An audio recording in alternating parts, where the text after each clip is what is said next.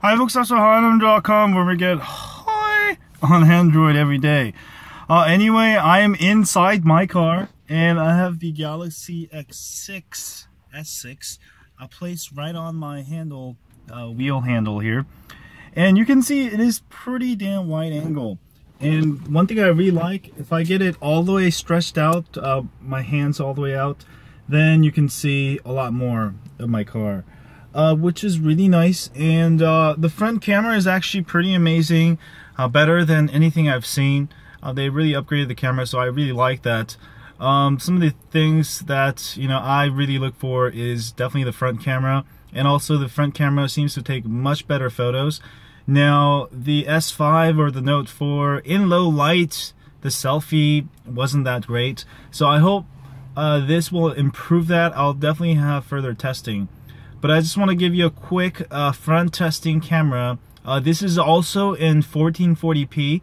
Uh, so now the front facing camera uh, supports up to 2560 by 1440p pixels resolution, which is really nice.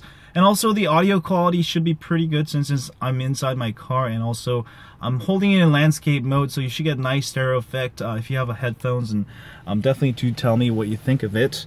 Uh, but I'm just gonna go ahead and pan around real quick but I'm really digging the front camera because the wide angle what also does for those of you who don't know um, a lot about cameras the wide angle already stabilizes your camera without you know uh, OIS uh, that's because you have a wider angle so there's less things to move.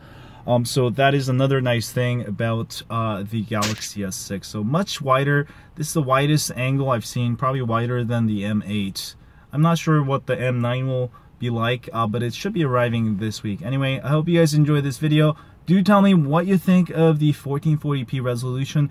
Do watch this on your desktop uh, if you have a higher resolution uh, monitor at full screen, or if you have a 1440p screen like the Note 4, or if you got the S6, do tell me what you think. And I'll try to have the original video also up so you can uh, compare the quality because sometimes YouTube doesn't uh, render it so well and the quality gets lost during rendering.